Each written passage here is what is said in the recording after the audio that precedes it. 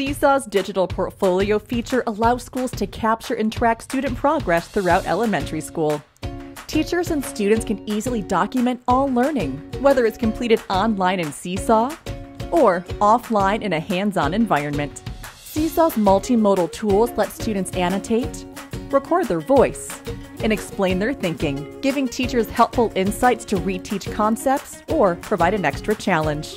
The platform also supports teacher feedback, family comments, and student reflections, giving students an authentic audience that motivates them to take pride in their learning and share their portfolios confidently. Learn how schools are having the best possible experience with Seesaw. Contact us today